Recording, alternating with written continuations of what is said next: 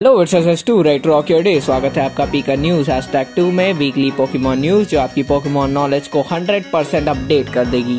तो बढ़ते हैं हमारे पहले न्यूज़ सेगमेंट की ओर तो ऐश को अपना फाइनल सेट ऑफ़ मिल रहा है पोकेमोन जर्नीज में, जिसके ऑलरेडी दो एपिसोड्स हो चुके हैं। पर जो तीसरा एपिसोड एयर होने वाला है, उसमें ब्रॉक ज्वाइन करेगा ऐश और मिस्टी को। हाँ वो पुराने तीन आइकॉनिक ट्रियो वापस से साथ आ रहे हैं।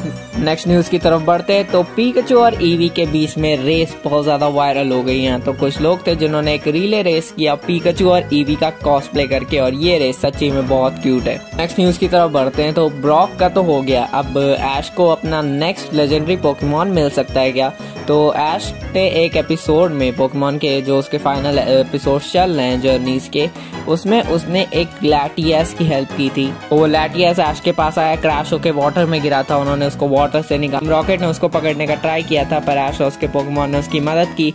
और फाइनली जब एपिसोड के एंड में वो लैटियस जा रहा था तो वो उड़ते उड़ते गया, उसके बाद वो इनविजिबल हो गया और फिर वापस से ऐश को फॉलो करने लगा। तो अभी ऑफिशियली कंफर्म तो नहीं है कि क्या लैटियास उसका पार्टनर बनेगा बट अगर वो उसको फॉलो कर रहा है तो ऐसा हो सकता है।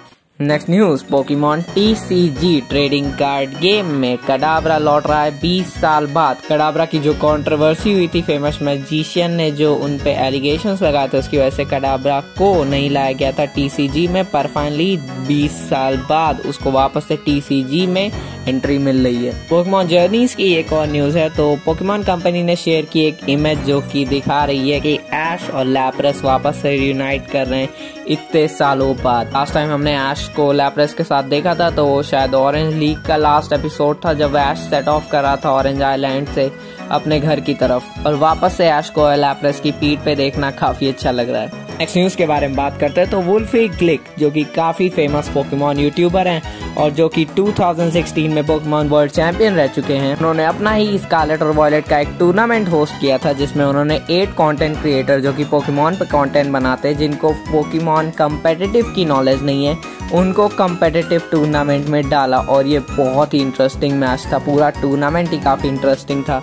तो बहुत सारे पोकेमोन कंटेंट जैसे Sky Kuno Lily Pichu Alpha Red N animation Void Box Box इन सबने पार्टिसिपेट किया था और वॉइड जीत गए ये टूर्नामेंट नेक्स्ट न्यूज़ है पोकेमोन यूनाइट के प्लेयर्स के लिए तो ड्रैगपोल्ट और सीज़न तेरह के बैटल पास अब अवेलेबल हो चुके हैं पोकेमोन यूनाइट में। नेक्स्ट न्यूज़ के बारे में बात करते हैं तो ऐश के वॉइस एक्टर से पूछा गया था कि क्योंकि अब ऐश नहीं रहेगा पोकेमोन सीरीज़ में तो क्या आपको फ्यूचर दिखता है अपना पोकेमोन का?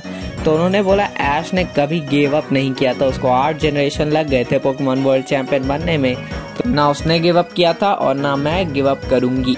नेक्स्ट तो एक रेडिट यूज़र है, जिसने सारे के सारे एलिफेंट पोकेमोन का साइज़ कंपैरिजन किया है। पिक्चर आप स्क्रीन पे देख सकते हो। लास्ट न्यूज़ के बारे में बात करते हैं, जो पोकेमोन स्कारलेट और वॉयलेट है, वो एकदम प्रॉफिटेबल साबित हुए पोकेमोन कंपनी के लिए।